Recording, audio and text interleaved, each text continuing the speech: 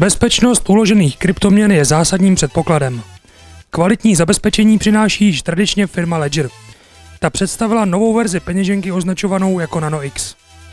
Novinkou je možnost peněženku propojit přes Bluetooth s aplikací na chytrém telefonu. Prostřednictvím ní můžete uskutečnit kryptoměnové transakce. Pokud se obáváte ztráty digitální měny, tak hardwareová peněženka je tou pravou volbou.